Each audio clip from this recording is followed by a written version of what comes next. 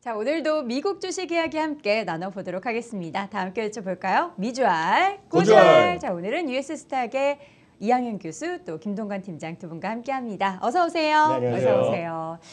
자, 뉴욕 시장 마감한 지난 주말 시장부터 좀 확인해 보고 가죠. 그동안 좀 상승세를 이어갔던 시장이 소폭 혼조세로 마감이 됐어요. 팀장님이 좀 정리해 주세요. 네 그렇습니다. 네.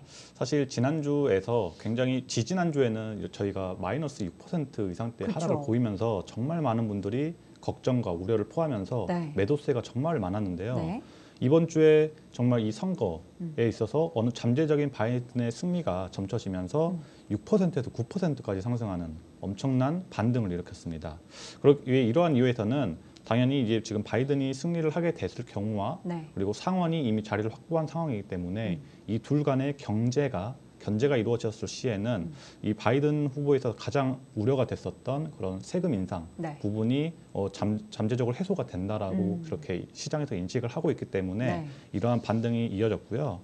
지금 보시면 히트맵으로 보시면 네. 딱이 모든 걸 한 단어로 표현할 수가 있겠죠. 지금 특히- 빨간색이 10월 30일까지였고 네네. 그 다음 주 바로 완전 극과 극이네요. 그렇죠. 네. 정말 극과 극인데 특히나 이 빅5 종목을 보시면 네. 딱 보이실 거예요. 음. 어떻게 이렇게 큰 기업들이 9에서 10% 그러게요. 네. 네. 미국은 가능한 거죠. 네, 그렇죠. 네. 상상도 못할 이런 상승력을 보여주면서 주간 상승을 굉장히 이끌었다라고 보시면 되겠습니다. 음.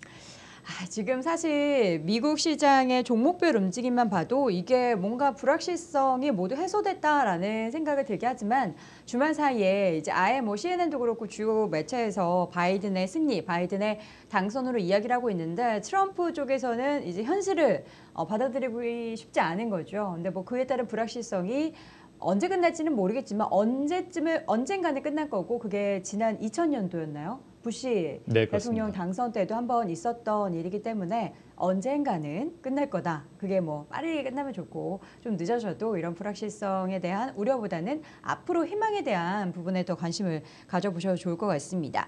지금 보면은 공포지수, 그러니까 빅스지수 같은 경우에도 큰 움직임이 없었어요. 네, 그렇죠. 지난주에도 마찬가지로 빅스 지수가 40을 넘어가면서 네.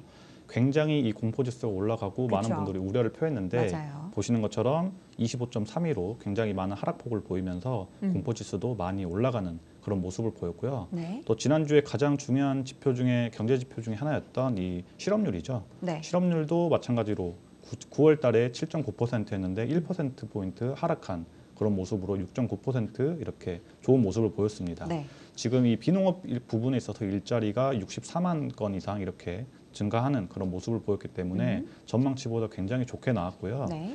어 그러면 사실 코로나 전에는 음. 당연히 실업률이 3.5%였기 때문에 그의 두 배에 상응하는 그런 실업률이긴 하지만 네. 지금 흐름상 계속해서 이런 실업률이 줄어들고 있다는 점에서, 점에서는 음. 굉장히 좋게 바라볼 수 있다라고 보시면 되겠습니다. 네. 유가나 금값 같은 경우에도 좀 확인해 볼까요? 사실 이제 시장이 안 좋았을 때는 유가의 움직임도 잡- 갑자기 올라갔고 또 트럼프의 뭐 우세, 뭐 바이든의 우세 뭐 이런 얘기 나올 때마다 사실 금값은 언제나 같이 올랐어요 주식과 함께. 네, 그렇죠. 네. 지금 코로나 19 덕분에 모든 분들이 이제 유가에 대해서는 정말 흐름을 다 아실 걸로 믿고 있겠지만 다시 한번 말씀드리면 이 코로나 19 확산세가 지금 정말 엄청나게 폭발적으로 증가를 하고 있잖아요. 음. 그러면서 이 다시 한번 이 수요 유가에 대한 수요가 계속, 계속해서 감소가 될 것이다. 라는 우려 때문에 이번에도 마이너스 4.3% 하락하는 그런 안 좋은 흐름을 보였죠. 네. 그와 반대로 금값은 역시나 이 지금 달러 약세와도 그렇고 코로나19 확산세로 불확실성이 여전히 산지하고 있기 때문에 네. 그런 부분에 있어서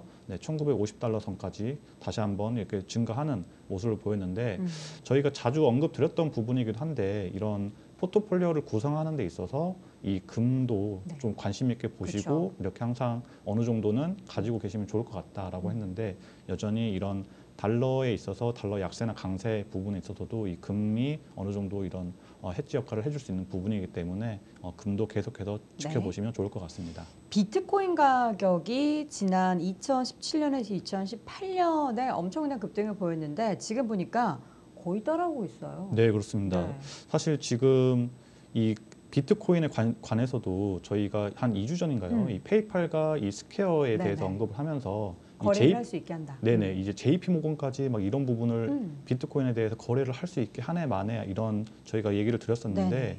이 비트, 비트코인에 대해서도 정말 그런 핀테크 기업으로서 가장 유명한 그런 스퀘어나 이 페이팔이 계속해서 좋게 그리고 시장에서 매매를 할 수 있게끔 하는 그런 모습이기 때문에 음. 굉장히 좋게 보고 있고요.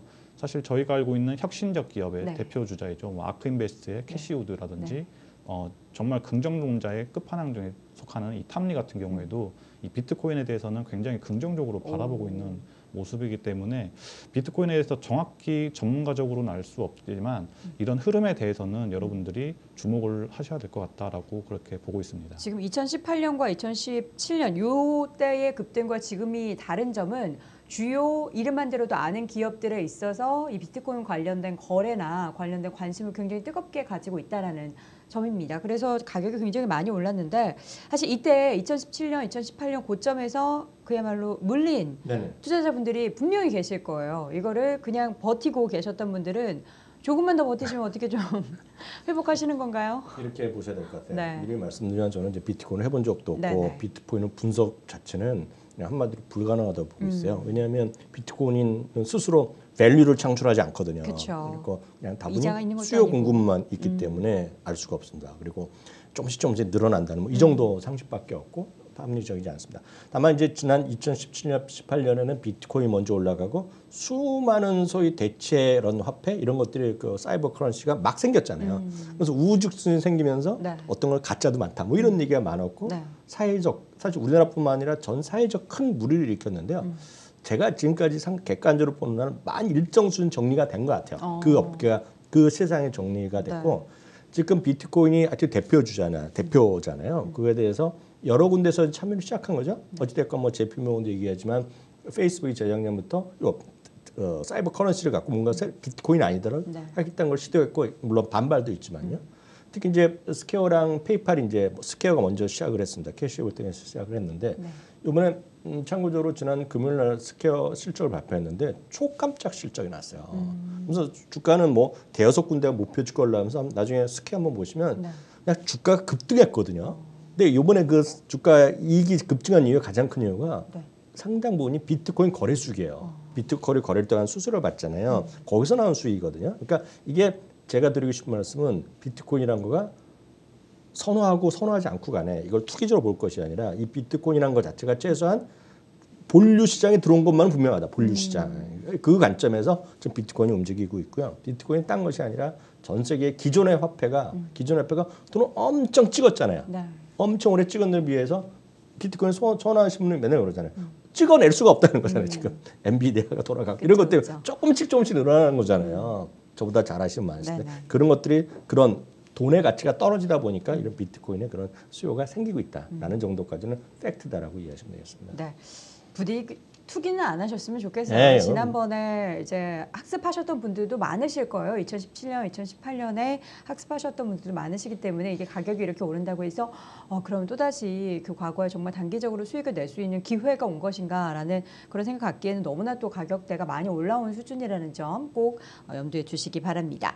자 마지막으로 코로나 관련된 업데이트 상황을 좀 보죠. 여전히 어, 확진자 수가 늘어나고 있는데 중요한 건 사망자 수가 좀 늘어나고 있네요. 네 그렇습니다. 한 2주 전이었나요? 저희가 사망자 수는 그래도 줄어들고 네. 그러니까요. 있다라고 하면서 굉장히 그래도 다행이다라는 음, 이렇게 얘기를 드렸었는데 네. 지금 전 세계 일일 사망자가 7,600건 이렇게 아. 이상 증가를 하면서 네. 보시는 것처럼 지금 4월 저점 4월 최고치를 이미 뚫었습니다. 하루에 7,600명 이상이 사망한다는 건 정말 심각한 거잖아요. 그렇죠. 지금 그리고 미국의 일일 신규 확진자가 네. 12만 명을 넘었거든요. 12만 지난주에 명. 네, 네. 지난주에 분명히 저희가 10만 명 넘어서면서 굉장히 우려를 포함해서 이건 너무나 큰 숫자다 더 이렇게. 말씀드렸는데 계속해서 늘어나고 있는 상황이고 지금 이 스콧 커틀립 전 FBA 국장 음. 이분께서 정말 어마어마한 또 발언을 하셨잖아요. 어떤 발언? 사실 실제로는 이러한 확진자가 다섯 배는 더될 거다. 50만 명. 그렇죠. 그러니까 지금 미국의 이런 인프라 자체가 모- 미국인들의 정말 많은 분들을 확진자가 있겠지만 그분들을 다 이렇게 검사를 할 수는 없는 그렇죠. 상황이다 보니까 그런 부분에 있어서 사실은 지금 확진자가 50만 명이 넘을 정도로 어마어마할 것이다. 그리고 그 수요 그 확진자 수가 음. 연말엔 더 많이 나타날 것이다라고 언급을 하면서 앞으로 이 코로나에 대해서 굉장히 네, 불안을 더 키우는 그런 말씀을 하셨고요. 네. 지금 사실 뭐 화이자나 뭐 아스트라제네카 11월 말에 음. FDA 승인을 받겠다라고 네. 얘기했지만 지금 그 한 2주 지금 한 2주 정도 보시면 사실 다른 여타 기업들에서 큰 성과를 낼 만한 그런 얘기를 하지는 않았어요. 그렇죠. 그렇기 때문에 저희 뭐 바이든 정부라든지 FDA라든지 기타 기관에서 지금 연말에는 그래도 승인 제품 승인할 수 있는 그런 어, 어, 제품이 여건이 나올 될 수도 있을 것이- 것이다 라고 하고 뭐 1분기나 2분기에는 이렇게 뭐 모든 국민들이 어, 이렇게 코로나 백신을 맞을 수 있을 것이다 라고는 했지만 네. 그 부분에 대해서 이렇게 확진자가 늘어나고 있는 음. 상황이고 아직까지 긍정적인 얘기가 없다라고 하면 음. 그 부분에 대해서는 역시나 좀 걱정을 많이 네, 네. 네, 되는 부분입니다. 지금 제가 얼마 전에 그 인스타그램에서 네. 팔로우하고 있는 계정 중에 뉴욕타임즈 계정이 있는데 거기에서 사진 한 컷이 올라왔어요. 바로 오늘 아침 확인한 건데 그 센트럴파크의 모습을 이렇게 담은 사진인데 이제 거기에 바이든 후보의 당선 관련해서 나름의 축제를 열었는데 거기에 사람이 사람이 그냥 단풍나무 반 사람 반이에요. 네. 그걸 보면서 어, 축제를 즐기는 건 좋은데 확진자 어떡하지? 네. 이런 생각이 좀 들어서 우려가 많이 되더라고요. 그, 그 관련해서 한 몇 가지 말씀드리면 그 저도 이제 저도 뉴스 보고 저도 화면 영상 보고 하는 건데 어, 어저께 그 델라웨어에서 그 당선자랑 부통령 당선자 연설할 때 보면 네. 다들 마스크를 쓰고 있죠. 네. 그게 약간의 차이가 날 겁니다 앞으로요. 그 음. 분명히 효과가 좀 나타날 거라 좀 어, 기대 반 음, 희망 반 갖고 있는데요.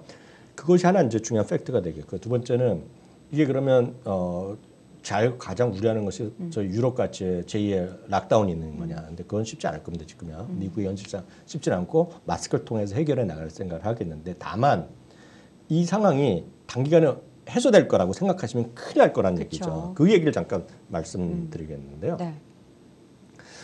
여러분들 이제 조금만 지금 반등하면 우리나라도 마찬가지죠. 항공주 사하고 뭐 이런 거 아니고 여행 관련 네, 주 네. 주문하고 이런 거 아닙니까 지금요. 네, 네. 국내 주식도 마찬가지인데요. 그거 한번 잘 한번 생각해 보셔야 돼요. 지금 보면 개인적인 여행 있죠. 네. 개인적으로 꼭 뭐 집안에 무슨 일이 있다 그러면 저도 이번에 다녀왔지만 음. 갈 수밖에 없는 것들은 있어요. 그것들 상당히 자제되겠지만 갈 수밖에 없는 사람들이 여행 갑니다. 분명히 갈 수밖에 없어요.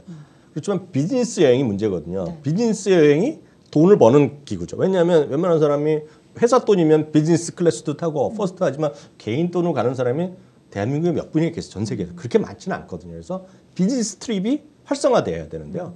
모건 스탠리에서 오늘 발표를 했어요. 내년에는 2019년이 정상적인 기준 되면 내년에도 마이너스 60%입니다. 내년에도. 2021년에도 마이너스 60%고 네. 2020년에도 마이너스 21%예요. 그러니까 그러면서 하는 얘기가 앞으로 그 시전으로 정상화 그 예전으로 가는 건 간다 안 간다? 네버란 말을 확실하게 썼어요. 네버. 결코 안 간다는 거예요. 그래서 그큰 틀에서 보면 기존에 이런 거 반등할 주식을 자꾸 찾는 게 아니라 많이 떨어진 주식, 뭐 한국도 미국도 똑같습니다. 그런 것들이 그러니까 대표적으로 제가 죄송하지만 극장 관련주 어느 나라는 안 되는 거예요. 그거. 그 쉽지 않다라고 보셔야 되겠고요. 그런 관점에서 늘 말씀드리면 뭔가 새로운 혁신적인 거, 새로운 시장의 흐름을 바라보는 그런 쪽으로 가셔야 되겠고요. 네. 미국은 완벽한 락다운 거보다는 주별로 약간씩 차이가 날 겁니다. 이번에 중요한 발표 하나 했는데요. 뉴욕주의 경우에 이번에 연말 시즌이잖아요. 연말 네. 크리스마스 때 연초가 미국에서 가장 큰 그 그 여행 시즌이거든요. 뉴욕에 이번에 뉴욕을 통해서 다른 주에서 뉴욕을 가실 분들 뿐만 아니라 뉴욕을 입구하실 분은 제 말씀 잘 들으셔야 돼요.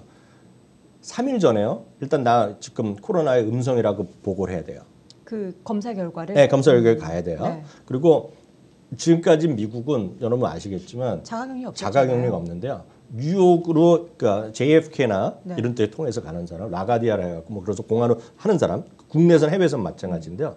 3일 격리 들어갑니다. 아, 3일이요? 예, 3일 격리하고 4일째 또 검사를 받아야 돼요. 아. 또 검사 받고 거기서 문제 있으면 또 14일 격리 들어가거든요. 어. 근데 여러분들이 말이 그렇죠. 미국에서는 가면 검사 받고 기다려야 돼또 며칠 걸려요. 그러면 예약을 여기 하려면 지금도 예약해놔야 되는데 쉽지도 않아요. 검사 자체가 힘드니까 쉽지 않다는 겁니다 지금요. 그런 것이 그런 정도로 확산될 수 있겠죠. 검사 비싸잖아요. 거기는.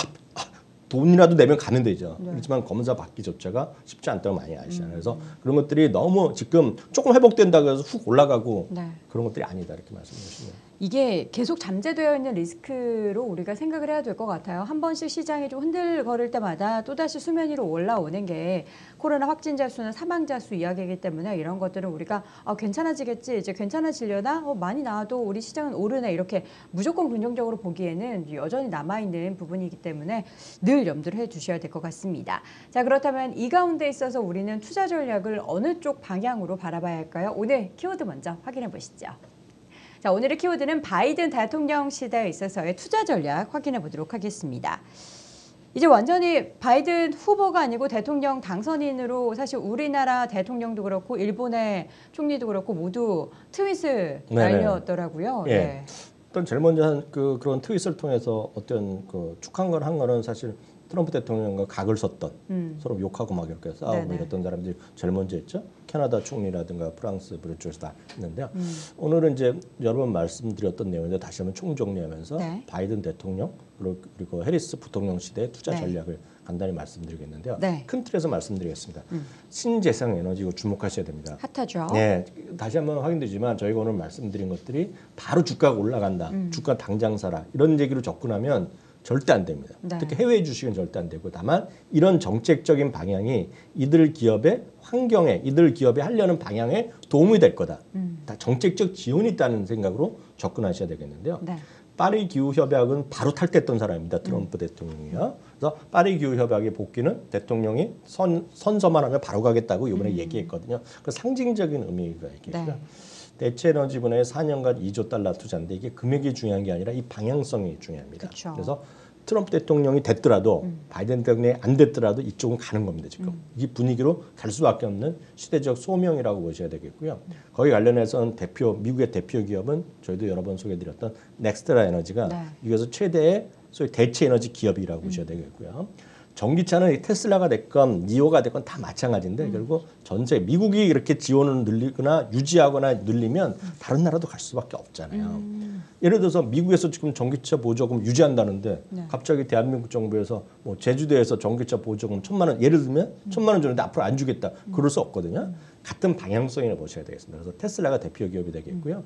그런 관점에서 개별 기업은 모르지만 ETF를 다시 한번 말씀드리면 몇 가지가 있는데 대표적인 것은 ICLN입니다. 어, 이 종목 같은 경우에는 지금 최근에 주가가 네. 그 신재생 에너지 오를 때도 엄청 많이 올라갔고 네. 조정을 보였지만 이제 바이든 후보의 대선의 네. 당선 여파와 함께 또 다시 올랐어요. 예, 뭐 사상체 효과 수준에 다시 음. 어, 회복되고 있는데요. 그렇죠. 문제는 이제 어, 이런 관련 기업이 뭔지 잘 모르시잖아요. 그래서 개별적? 예, 그런 걸 보시면 어떻게 보시냐면 글로벌 영문이 너무 좋잖아요. 영문 글로벌이요. 3095. 3095죠. 네. 309를 제가 어, 직접 카피를 떠왔습니다. 여러분 보시실게요. 이런 기업들이 쑥 들어가 있어요. 여기는 미국 기업도 들어있고 해외 기업도 들어있고 다 들어있거든요. 네. 그러니까 잘 모르시잖아요. 여기 아는 게 별로 없을 거란 말이죠. 이제 이번 주에 저는 이 중에 저는 한 세 개 정도 알지만 네. 모르는 분이 대부분이거든요. 그러니까 이런 것들은 어떤 개별 종목으로 접근하기보다는 ETF를 하는 것이 훨씬 편하죠. 음. 물론 여기서 또 뭐 이렇게 말씀드리면 야, 한국에선 OCI를 사야 돼 이런 분도 계실 수 있는데 음. 그쵸, 그쵸. 그는 각자 판단의 영역이 되겠고요. 큰 틀에서는 이런 것들이 편할 것이다 이렇게 말씀드리고 있고요. 그러면 신재생 에너지 관련해서 또 다른 종목들도 많을 것 같은데 뭐가 있을까요, 팀장님? 네, 사실 이 지난 한 한두 한두 달 네. 정도 됐는데 이 브룩필드 이 리뉴어블이라고 하는 네. 신재생 기업도 굉장히 한국에서 브룩필드. 네네 네. 많은 분들이 지금 알고 계신데 이 티커가 BEP거든요. 이, 이 브룩필드 리뉴어블 같은 경우에도 넥스트에라 에너지 정도 규모는 아니지만 그래도 이 신재생 에너지 관련해서는 굉장히 이제 굉장히 각광을 받고 있는 그런 기업인데 이 기업에서는 뭐 향후 15년 내에 뭐 미국의 화석 연료를 50% 줄이겠다라고 이렇게 천명을 할 정도로 굉장히 이 신재생 에너지에 대해서 자신감을 표하는 그런 기업인데 네. 이 기업 같은 경우에도 지금 연초 대비해서 한 60% 정도 가까이 이렇게 상승을 하는 그런 좋은 흐름을 보이고 있거든요. 음. 그렇기 때문에 이런 브룩필드 리뉴어블 그리고 신재생 에너지 사실 굉장히 저희가 익숙하지 않고 어려운 기업들이 많기 때문에 더욱더 저희가 이 ICLN 같은 ETF를 더욱더 추천을 드리는 것이죠. 네. 브룩필드 리뉴어블이요? 다시 한번. ticker 알려주시겠어요? BEP입니다. B EP. B E P 네. 궁금해가지고 네네. 찾아봐야 되는데 어, 지금 사실 지난 주말에도 2% 넘게 상승을 했고요. 그렇죠. 앞서 말씀해 주셨던 것처럼 주가가 올해 좀 등락을 보이긴 했지만 최근에 상승을 다시 한번 이뤄낸 종목입니다. 이 종목은 이제 앞으로도 좀 기대감을 가질 만한 부분들이 있는 그런 섹터 안에 있는 종목으로 확인해 보실 수가 있을 것 같고 이전에도 작년에도 주가가 굉장히 좋았네요. 오히려 네네. 올해는 굉장히 많이 등락을 보이고 있는데 한번 지켜보시도록 하겠고요. 이 종목 말고 또 뭐 있죠? 어, 이 종목만 오늘은 준비를 음, 해왔기 때문에. 다음 종목 부탁드리겠습니다. 알겠습니다. 그럼 이어서 신재생에너지에 서 헬스케어 쪽도 봐야죠. 네, 헬스케어는 이제 음, 접근하기가 당장 그 쉽게 접근하기 쉽지 않습니다. 어려워요. 왜냐하면 헬스케어는 분야가 여러 개로 쪼개집니다. 헬스케어는 쉽게 얘기해서 우리로 보면 종근당도 들어가고 우리로 보면 종근당 같은 회사도 들어가고요. 아니면 예를 들어서 우리나라에서도 바이오 관련 기업들도 들어가고 삼성 바이오로직스 이런 거 들어가죠. 음. 네. 그런 것도 다 들어가고 있고요. 어, 우리나라는 별 게 없지만 의료 기기도 들어가고 음. 우리나라에 또 없는 거가 우리나라에는 의료보험이 국민의 의료보험은 의무가입이고 선택조라는 게 실손보험이라 그래서 우리나라 화재보험사들이 그쵸. 손보사들이 하는 것들이 실손 꼭 있어야 예, 되죠. 그게, 그게 실손인데 네. 미국은 의료 보험이 의무적 의료 보험이 없기 없죠. 음. 때문에 그걸 민영사들이 다 합니다. 그래서 민영 의료 보험 그리고 바이오 전통적인 제약회사 다 다르거든요. 네. 그래서 통틀한 거를 헬스케어라고 얘기하는데 음. 오늘 저희가 주목하는 것은 그 중에서도 민영 의료보험 기업에 주목하셔야 돼요. 민영, 민영 의료. 의료보험. 예. 근데 이거를 많은 분들이 미국 주식 그냥 조금 그냥 하는 분들 증권회사 자료 보면 잘못 접근하는 분들이 많은데요. 이걸 유의하셔야 돼요. 왜냐하면 예전에 그 버니 샌더슨이랑 그 엘리자베스 워렌이 막 등장할 때는 의료 민간 의료보험을 다 없애야 된다 얘기했어요. 어 이거 도대체 민간이 그런 거 하면 안 되냐? 모든 거를 전국 나라에서 해줘야 된다. 그래야 그것들이 작년에 한때 엄청 주가 빠졌었는데요. 네. 지금 바이든 그런 게 아닙니다. 바이든은 오히려 예전에 오바마 케어를 하면서 오히려 이것들 통해서 더 많은 사람들 의료보험을 가입하게 하자는 게 그런 추세가 되겠고요. 네. 다만 오해하는 것이 의료보험료가 너무 비싸다. 그걸 깎아주자 이 얘기를 하는 거예요. 그러니까 어, 근데 그거는 어느 정부나 마찬가지죠. 야 보험료 너무 비싸다는 얘기를 항상 하는 거거든요. 네. 또 하나가 약값 인하는 항상 하는 얘기입니다. 그래서 일부에서는 바이든이 약값을 올리는 걸 지지한다는데 그거 다 거짓말입니다. 음. 그것이 아니라 약값 인하라는 건 어느 정부나 하는 일. 약값이 너무 비싸니까 안 되잖아요. 그렇죠. 이런 것들이 있기 때문에 가입 대상도 확대되고 그래서 헬스케어가 음. 분명히 긍정적으로 보셔야 돼요. 특히 이, 바로 이 그, 의료보험 시장 자체가 커지는 거로 보셔야 되겠고요. 네. 그런 건 이제 대표적인 1위에서는 유나이티드 헬스 그룹 음. 여러 번 말씀드렸던 사상 최고가 행진하는 것들입니다. 네. 그리고 예전에는 CVS 헬스가 예전에는 이게 drugs 예전에 미국 가셨던 분은 그냥 drugstore였어요. 음. 그러니까 우리를 보면 올리브영 같은 거에 네. 어, 음, 벤치마크 됐던 회사인데 이게 재작년 작년 걸치면서 에트나라고 엄청 큰 의료보험사를 인수했어요. 그래갖고 이제 의료보험 같이 들어 같이 가는 겁니다, 얘네가. 그래서 커지고 있는 건데 이게 대표적인 기업들이 되겠고요. 네. 이것도 이제 미국에 사신 분은 다 알지만 한국에 계시면 쉽지 않잖아요. 네. 근데 우리나라는 이게 없지만 우리는 이 업태가 생명보험사밖에 없고 손해보험사밖에 없고 재미가 없잖아요. 근데 미국은 다 아는데 그게 말씀드렸던 의료 우리 쉽게 얘기하면 헬스케어 서비스 프로바이더 그게 우리 쉽게 해서 의료보험이 대부분이거든요. 네. 의료보험 ETF가 따로 있어요. IHF. HF입니다. 음. 네. 어떤 종목들이 좀 들어있는지 볼까요? 네, 그 사상체 효과가 되겠고 네. 여기 딱 보시면 여기 유나이티드 헬스그룹, 어. 앤썸, CBS, 시그나 다 있네요. 다 휴머나까지가 이게 다 저겁니다. 음. 그러니까 의료보험사거든요. 텔라닥도 있네요. 네, 텔레덕도 들어있고 여기 보면 이런 것들이 또 같이 들어가거든요. 그래서 이런 것들이 상당히 좋은 거거든요. 음. 그러니까 이런 것들이 제가 보기에는 여전히 바이든 대통령 시대에서 네. 여전히 관심주다 라고 보시면 되겠습니다. 네. 그럼 이어서 팀장님께서 관련된 종목 하나 더 소개해 주시죠. 네, 아, 지금 사실 이 대마, 네. 마리화나에 대해서도 또 얘기하시네요. 네네 말씀을 안 드릴 수가 없는데 네네. 지난주에 또 25% 폭등을 했습니다. 네. 그만큼 이 바이든 수혜주로서 굉장히 계속 관심을 갖고 있는데 음. 사실 이 우리나라에서 인지조화가 잘 안 되는 그런 기업이라서 음. 굉장히 투자에는 저 그렇게 추천을 드리진 않는데 네. 정말 전 세계적으로 많은 관심을 갖고 있, 다라는 음. 그런 내용을 말씀드리고 싶어요. 사실 이 캐노피 같은 경우에는 이, 이 캐나다 캐나다가 지금 이 마리아나 합법인 나라인데 음. 그 마, 캐나다에서 시장 점유율 30%를 차지를 하고 캐노피? 있는 네네 네. 그- 가장 큰 이런 마리아나 관련 기업인데요. 네. 지금 이 오바마 케어에서는 아, 시는 분들은 아시겠지만 음. 이 오바마 자체가 이 마리아나에 대해서 이렇게 굉장히 조금 긍정적으로 바라보는 그런 시각을 가지고 있었거든요. 음. 어떤 시각이냐면 이 술이나 담배처럼 이 마리아나를 공중보건으로 이렇게 다스려서 음. 하면, 하면 좋겠다라는 부분이고 네. 또 하나는 이 마리아나에 대해서 주별로 이렇게 합법화를 결정할 수 있으면 좋을 것 같다라는 것이고요.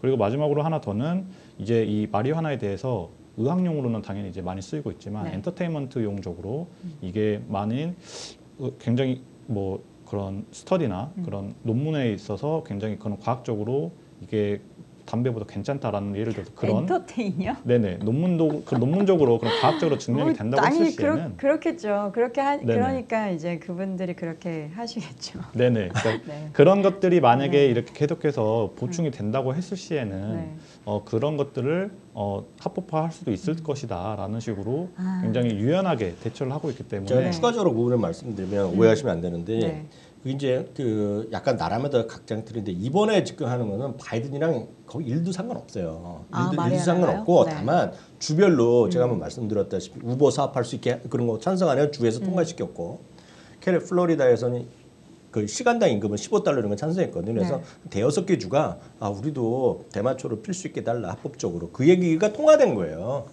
그리고 연방 차원에서 이번에 그 그거 합법화하기는 쉽지 않습니다. 다만 지금 말씀하신 건 의료용이거든. 요 의료용. 네.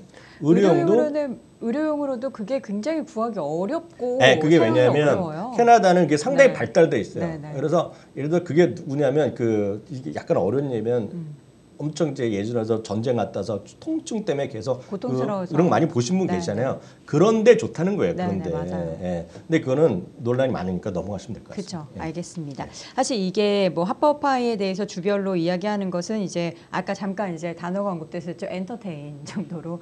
근데 이거를 이제 열어두면 과연 뭐가 좋을지 나쁠지에 대해서는 잘 모르겠고요. 의료적으로 과연 어떻게 확산이 될지 여부는 조금 더 지켜봐야겠습니다. 최근에 이제 캐너피 그로스라는 기업 맞죠? 네네. 이 기업의 주가가 좀 단기적으로 올랐는데 과연 추후의 움직임 어떻게 될지 지켜보시고요. 이어서 인프라 투자 관련해서는 사실 트럼프 쪽이 인프라가 많이 이야기됐었는데 바이든 후보의 대선 당선은 어떻게 인프라 쪽이 확대가 되는 이게 건가요? 많은 분들이 좀 오해하시는 건데요. 네. 그참 하기 전에 다시 한번 확인드리지만 그 오해를 하실 줄 모르려 갖고 네네. 특히 해외에 가시면 특히 제가 숱하게 봤어요. 캐나다 이렇게 가시면 네. 그냥 쉽게 이렇게 파는 게 있어요. 뭐죠? 대마 성분이 들어간 캔디 껌, 껌, 껌 캔디 캔디. 파는데 대마 얘기 아직도 안 네, 끝냈나요? 한국에서 들어오면 바로 걸립니다. 그쵸, 진짜 그쵸. 돼요. 예. 숱하게 많이 걸리거든요. 네. 네, 그 이름 뭐라고 했죠? 그때 알려주셨는데 장 본부장님이 그거 절대 먹으면 안 된다고. 음료도 있던데. 다 있어요. 예. 아, 네네. 그뭐 드시지 마시고요. 예, 네, 인프라. 얘기도 예, 넘어가죠. 인프라는 예. 아까 말이 끊겼는데요. 음. 트럼프 대통령이 상당히 강조했다고 얘기를 하고 있고 많이 그쵸. 한것 같지만 절대 그렇지 않습니다. 아. 네, 왜냐하면 캐나 트럼프 대통령은 네. 그 전에 왜 그랬냐면 멕시코와의 장벽을 세운다 그랬어요. 네, 네. 거기 이제 수조 달러 들어간다는데 통과가 안 됐죠 당연히. 좀 세웠잖아요. 그 앞에 아, 몇개 하고 우리나라에서. 이제 막 취재도 가고 그런 거 봤는데 몇 개 하고 끝났죠. 네. 그 어떻게 다 합니까? 그 불가능한 건데 그리고 자기네 하겠다고 한 건 하나도 한 적이 없어요. 음, 그런데 여기서 이제 그러다 보니 미국의 그 철도도 안 되죠. 네. 음. 도로도 오래됐죠. 통신망도 안 되고 그러다 보니까 비판이 많은 거예요. 당연히 아시아, 우리나라, 중국 이런 데 훨씬 떨어져 있고 우리나라 수준 떨어지고 네. 유럽 일부 그 신흥 국가보다도 동부 유럽보다도 못한 많, 많거든요. 그쵸. 그러다 보니 바이든이 한 거가 유에, 미국을 재건하자, 미국을 정상적인 탑의 국가로 가져가자 하면서 한 거가 인프라를 3조 달러 하자는 얘기고요. 음. 트럼프 대통령이 2조 달러 하자고 그랬던 거예요. 그래서 그 차이입니다. 그래서 아. 기억하시면 처음에 트럼프가 이, 이겼잖아요. 처음에 선거한 날. 네. 그래서 인프라 가지고 다 떨어졌어요. 음. 근데 그거는 절대 오해라고 보고 있어요. 결국 장기적으로 보면 누가 되든지 간에 인프라 투자는 늘어날 가능성이. 크다라고 보셔야 되겠고요. 근데 이것도 역시 대표적입니다. 이게 많은 분들이 회사를 몰라요. 이건 미국에 계신 분들 잘 모릅니다. 이쪽 비즈니스 하지 않으신 분은. 뭐 자주 들어본 회사 뭐 캐터필러밖에 없어요. 그쵸? 캐터필러랑 몇개그 철강 회사밖에 네, 없기 네. 때문에 모르시거든요. 그래서 이런 것들은 쉽게 오히려 이 탭으로 말씀드리면 음. 길을 닦는 거 영어가 pave거든요. 네, pave, P-A-V-인데요. 네. P-A-V가 최고입니다 지금. 이게 지금 사상 최고가입니다. P-A-V-E. 어, 어떤 종목이 들어있는지 좀 볼까요? 아까 이거도 잘 모르시는 기업들 다 들어있습니다. 여기 어. 보면 밑에 들어가면 캐터필러도 있는데 네. 음. 그리고 있고 제이콥스 엔지니어링도 얘기가 많이 하던 기업이 되겠고요. 또 라겔도 있겠고요. 유나이티드 렌털스는 모든 중장비를 빌려주는 회사거든요. 어. 그러니까 이런 것들이 돈을 벌 수밖에 없는 것들이죠. 그러니까 음. 이런 것들이 들어있기 때문에 이런 것들이 ETF로 하는 것이 오히려 정답이다 이렇게 말씀드릴 수 있네요. 네, 인프라 관련해서 팀장님 또 종목 하나 더 소개해 주세요. 아, 네. 네. 종목이라기보다는 이 캐터필러가 네. 얼마나 대단한 기업인지 그냥 단, 단 네네. 하나만 말씀드려도 아실 네. 텐데 25년 배당금을 인상했습니다. 25년이요? 네네. 그거 있잖아요. 배당금 인상 그렇게 하는 걸 뭐라고 부르죠? 뭐 배당 배당 귀족주. 귀족주? QUAL로 음. 알고 네. 있는데 이 배당 귀족주요. 네네 네. 배당 귀족주에도 포함될 정도로 이 캐터필러가 그만큼 네, 배당에 굉장히 네, 좋은 대단하네요. 기업이다라는 말씀을 드리고 싶네요. 네, 지금 25년 동안의 주가를 봐도 뭐 중간중간에 몇 년간 심심한 주가 움직임도 있었지만 제가 태어났을 때쯤만 해서 이제 투자를 했어도 굉장한 수익률을 낼 수 있다는 거를 주가를 통해서 또 확인해 볼 수 있습니다. 앞으로 어 이제 바이든 대통령이 얼마나 인프라 투자 관련해서 그 4년 동안의 임기 동안 트럼프가 해내지 못한 것들을 얼마나 많이 해냈는지 여부를 함께 지켜보시면 좋을 것 같고요.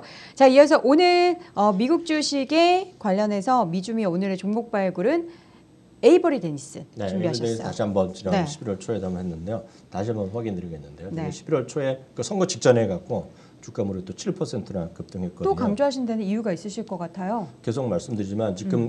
조금씩 조금씩 트럼프 대통령의 시대에서 끝나고 네. 결국은 정상적으로 이렇게 가는 거죠. 정상적인 거로 가겠다는 네. 음. 소위 바이든 후보, 바이든 당선자의 말이 되면 당연히 뭐가 들어가냐면 무역 규모가 늘어나는 무역 규모가 음. 지금 이전보다 무역이 활성화될 수 있어요. 물론 단기적으로 보면 이런 코로나 가 계속되겠지만 네. 사실 보면 우리나라 오늘 주식시장에서요 음. 해운주도 지금 올라갈 겁니다. 네. 그거 다 이유가 있는 거예요. 해운이 왜 해운이 있습니까? 해운이 여러분들이 교육이 여행 갈 때 배? 타는 게 아니잖아요. 교육이 늘어나나요? 교육이 늘어난 그 개념인데 교육이 늘어가면 제일 미국에서 수혜를 보는 것 중에 하나가 에이버리 라벨 데니스. 붙여야죠. 그게 왜 아, 그런 것도 있겠고요. 이게 에이, Avery Dennison이라는 회사가 네. 주- 우리나라 지금 베트남에서 가장 큰 기업이 삼성전자라고 네네. 얘기하잖아요. 그만큼 캐리 베트남에서 중요한 회사가 Avery Dennison과 나이키입니다. 어. 예, 나이키 모든 나이키 신발의 모든 그 라벨 있죠. 네. 그냥 99% Avery Dennison이라고 보시면 돼요. 그래서 이게 결국은 소비가 활성화되고 글로벌 경제, 무역이 교역량이 늘어날 때 수혜주가 이런 거 대표적인 것이라고 보시면 되겠습니다. 알겠습니다. 오늘의 종목 발굴은 에이버리 데니스 확인해 봤고요. 자, 여러분 결과가 이제 발표가 거의 난 걸로 쳐야겠죠. 네, 저희가 이제 결과 발표에 따라서 사실 어떻게 보면은 우리 이 교수님께서 양보를 해주신 아, 거예요. 그럼요. 저희한테. 네, 저- 그럼요. 뭐 그럼요예요. 아, 두 분이 먼저 정하셨으니까 저는 할 수 없이 딴 거로 갔죠. 아니 저 저본 적 없으시다고 그렇게. 아, 재미삼아 하는 얘기죠. 자, 어쨌든 저희는 조만간에 점심을 한번 먹고 이제 인증을 네, 인증서. 올려드리죠. 예, 네. 여러분 어떤 메뉴가 될지 이 방송을 통해서 전해드리겠고요. 좋은 거 사겠습니다, 제가. 지금 보니까 오현승님께서 감사합니다. 미주알 고주알 파이팅 하면서 외쳐주셨는데 네, 응원의 힘입어서 매일 이 시간 통해서 여러분들의 미국 주식에 관련된 정보와 또 훌륭한 투자 전략 함께 도와드리도록 하겠습니다. 자 그럼 오늘 미주알 고주알은 여기까지고요. 오늘도 US스탁의 이양현 교수, 김동관 팀장 두 분과 함께했습니다. 고맙습니다. 키움증권에서 펀드 살 땐 누구나 선취 판매 수수료 0원